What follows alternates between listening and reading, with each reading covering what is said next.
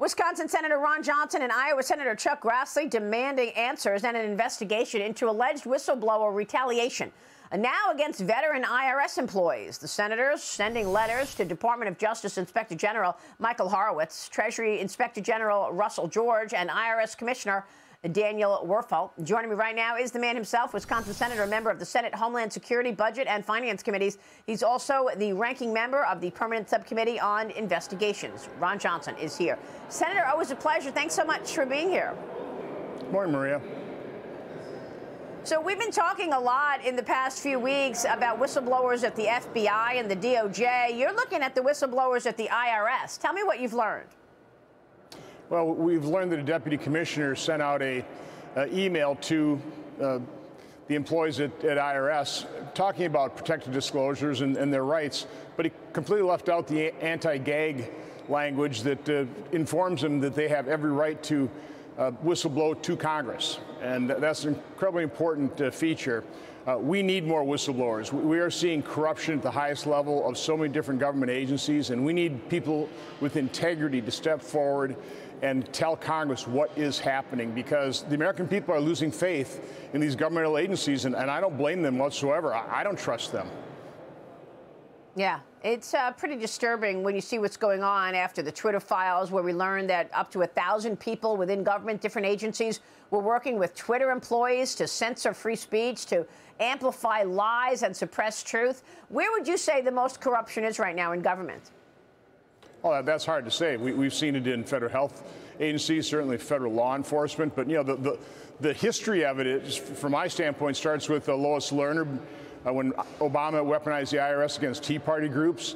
And then you had the FBI exonerate Hillary Clinton and that same cast of characters that exonerated her.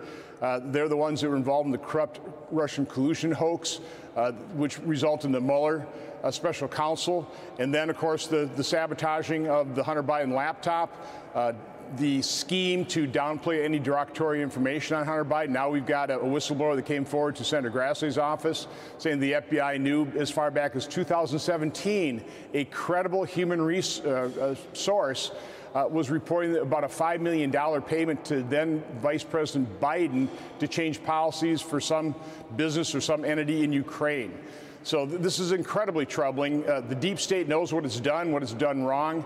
Uh, they know how to hide the ball. That's why we need other whistleblowers with integrity that understand some of the wrongdoing to come forward to Congress.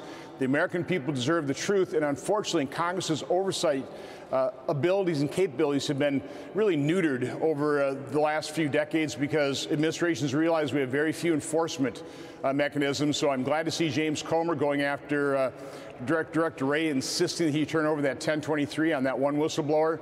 Uh, we need these agencies to come clean. They need to start being responsible to the other co-equal branch of government, Congress, that has responsibility to investigate just as much as the Department of Justice has the, the uh, responsibility to investigate. This is all very disturbing. The House Oversight Committee meeting tomorrow to vote on the contempt of Congress charges against FBI Director Christopher Wray. Tennessee Congressman Oversight Committee member Tim Burchett joined me earlier in the show uh, to discuss that. Here's what he said. Watch this.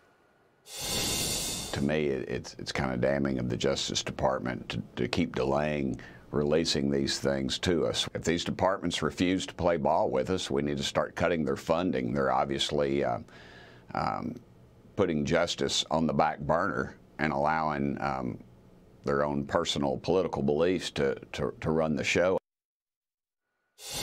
And, and, Senator, this is what I'm questioning the power of the purse uh, that Congress is supposed to have. We've talked about this a lot uh, that the only lever Congress really has is to hold back funding. But you know what could happen. Chuck Schumer could sit on bills, and then uh, as a par, as a result of this new debt agreement, uh, that uh, funding goes back to this year's level with that one percent cut your thoughts on whether or not Chuck Schumer can blow it all up, an agreement in terms of enabling the House to have the power of the purse.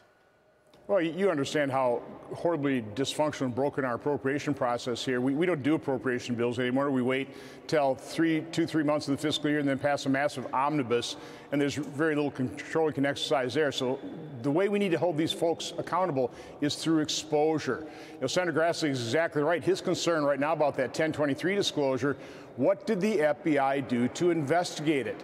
Again, we know they had a scheme to downplay the derogatory information on Hunter Biden. We know they interfered in our investigation in 2020 uh, with uh, the unsolicited briefing that they later leaked to smear me and affected the Wisconsin U.S. Senate race. Again, the corruption is running deep, it is pervasive, and we're probably just seeing the tip of the iceberg here. So, again, let me make a plea. We need people of integrity within these agencies to come to Congress. You have every right to do so. Blow the whistle. We need the American public to see what's happening so we can fix these agencies. Yeah, but you can understand the skepticism from people watching, given the fact that it feels like the bad guys keep getting away with it, Senator. You and I lived through the Russia collusion story over and over again, and now you've got Jim Comey writing books, writing movies, giving speeches, uh, all of them. The people who were in charge of, uh, of pursuing that lie that was Russia collusion with Trump. Uh, where was the accountability there? Where's the accountability with Hunter Biden? We've been talking about his laptop and all of the corruption of uh, influence peddling in plain sight, in black and white on the laptop, and there's there's been nothing.